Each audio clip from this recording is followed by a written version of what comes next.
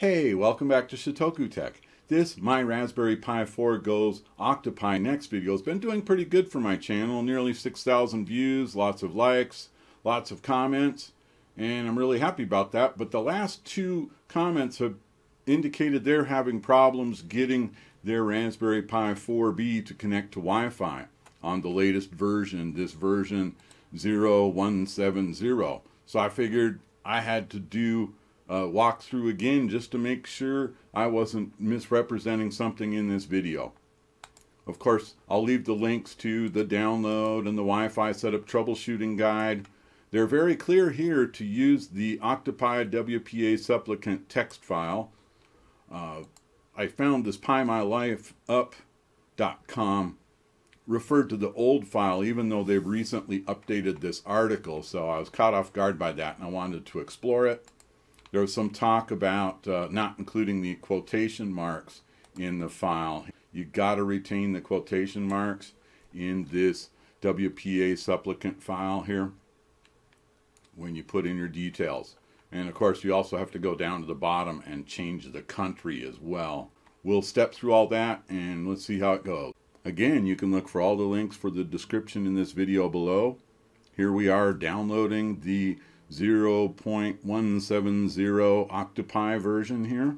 Here we see the file has downloaded now. It's a zip file and we're opening it in Balena Etcher, selecting my SD card and we're going to go ahead and flash it.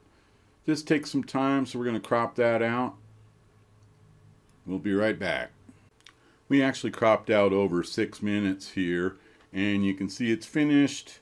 Basically, Balena Etcher actually uh, ejects it in Windows as well. So you have to remove the SD card and plug it back in to get it to detect.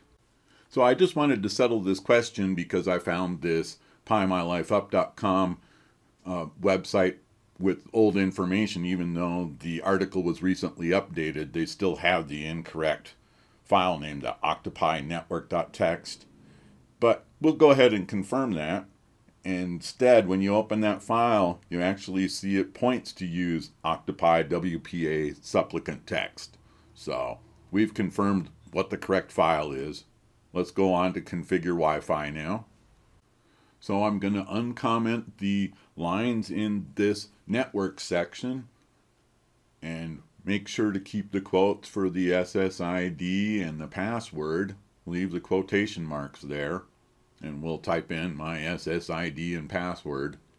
You should use your own here. Then you want to go to the bottom and uncomment your country code or you might have to add it. So we eject that SD card and take it over to the Raspberry Pi 4 here in the print room and then we come back and ask Alexa to switch on that outlet for us.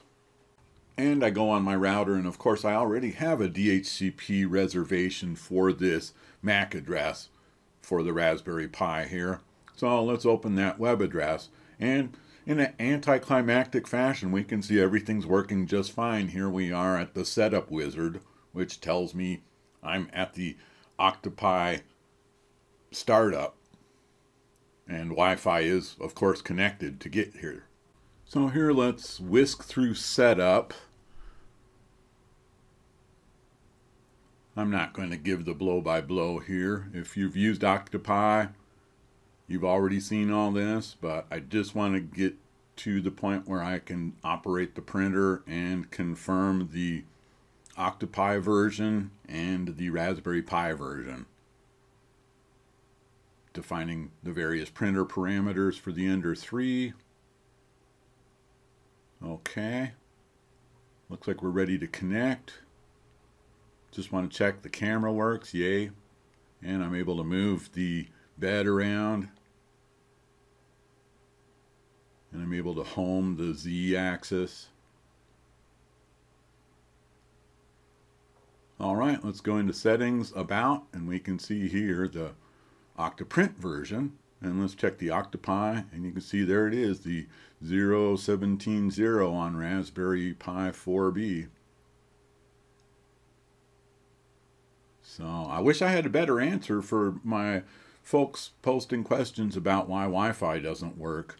I did do an update to the Raspberry Pi 4B. You can check it out in this video here. I'll leave a link below.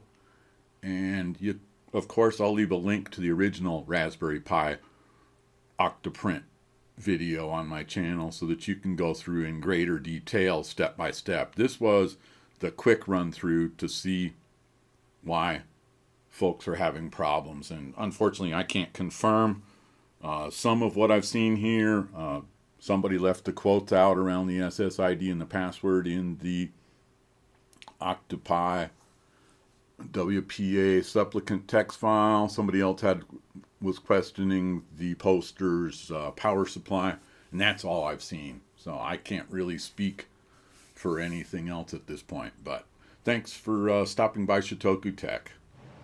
Please subscribe to Shotoku Tech so little Jimmy can have legs, won't you? Thank you very much.